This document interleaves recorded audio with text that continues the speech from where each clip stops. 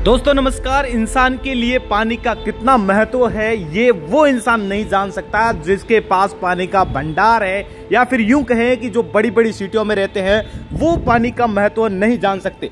पानी का महत्व वो जान सकते हैं जिन्होंने अकाल देखा है, पानी की बूंद बूंद के लिए तरसे अगर बात करें पश्चिमी राजस्थान के जिलों की तो यहाँ पर सबसे ज़्यादा पानी की किल्लत रहती है और सबसे ज़्यादा पानी को महत्व वो लोग देते हैं। अब जो आप अपनी मोबाइल स्क्रीन पे जो तस्वीरें देख पा रहे हैं, ये तस्वीरों में जो पानी दिख रहा है आपको, इस नाडी दिख रही है तो ये नाडी कहाँ की है? तो मैं आपको बता दू, ये नाडी बाड़मेर की नाडी है वैन नाडी है, और यहाँ पर जो ये पानी नज़र आ रहा है, जो ये पानी है, वो कोई बरसात से नहीं आया हुआ पानी है, ना ही यहाँ पर किसी ने टैंकर ला के पानी डाला है। तो ये तस्वीर मैं आपको दिखा, इसलिए दिखा रहा हूँ, इसलिए ये महत्वपूर्ण तस्वीरें हैं, क्योंकि इस नाडी में पानी आखिर आया तो आया कहाँ एक तरफ़ लोग बोलते हैं कि हमारे घर में पानी नहीं आता, हमारे नलों में पानी नहीं आता आखिर पानी आएगा तो आएगा कैसे? क्योंकि बाड़मेर के जो नल लगे हुए हैं, वो जगह जगह से टूटे हुए हैं, फूटे हुए हैं, और उनका पानी बहकर सीधा इन नाडियों में जा रहा है। और वो भी इन नाडियों में, जहाँ इस नाडी की सफ़ाई को किए हुए कई वर्ष हो गए, कई साल बीत गए। अब पूरी जानकारी दे दूँ आपको खबर की तो पूरी जानकारी ये है कि जो ये वैन नाडी के पास में जो रास्ता जाता है, वहाँ पर ये जो पाइपलाइन थी,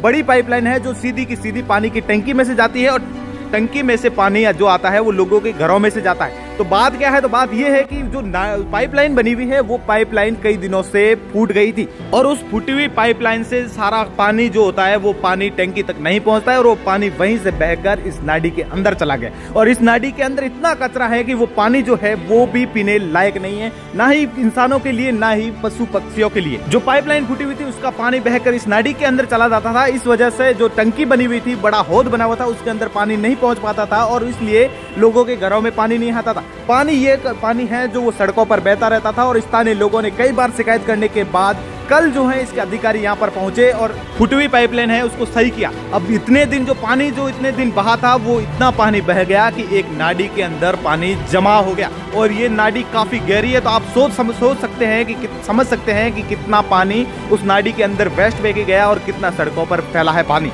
कहने का तात्पर्य यही है कि जो बाड़मेर की अव्यवस्था है, पाइपलाइनों की अव्यवस्था है, उसके जिम्मेदार कौन है? क्योंकि लोगों के घरों तक पानी नहीं पहुँच रहा है। लोग बोलते हैं कि हमारे पानी नहीं आ रहा है, हमारे ये नहीं हो रहा है, हमारे पानी की किल्लत आ गई। दरअसल पानी की किल्लत आती कहाँ है तो पानी की किल्लत इन्हीं फूटी टूटी फूटी पाइपलाइनों की वजह से आती है। क्योंकि ये पाइप है जो होद तक नहीं पहुँचा है और फिर वो पानी है, वो लोगों तक नहीं पहुँचता है। तो टूटी फूटी पाइपलाइन होती है, उनका पानी सड़कों पर बह जाता है तो कहीं नाड़ियों में चला जाता है पानी और इस वजह से पानी लोगों के घरों तक नहीं पहुँच पाता है। बाकी आप तस्वीरें देख के समझ गए होंगे कि जो ये नाड़ी है वैन नाड़ी है, वो बाड़मेर के लोग इनकी जान चुके होंगे कि ये कितनी गहरी नाड़ी है। आखिर बिना बरसात के, बिना टैंकरों के इस नाडी के अंदर पानी आया तो कैसे आया? जो वो पानी की पाइपलाइन फूटी थी, उसके अंदर से कितना पानी बह करके इस नाडी के अंदर गया है? अगर यही पाइपलाइन समय रहते सही कर दी जाती तो लोगों के घरों में पानी पहुँच जाता और ये लोग ना कहते कि हमारे घर में पानी नहीं आ रहा है और कितने दिनों से नहीं आ रहा है। जुड़े रहे द खटक के साथ ऐसी ही तमाम वीडियोज़ के लिए। द खटक से मैं आपका साथी जसवंत सिंह शिवकर।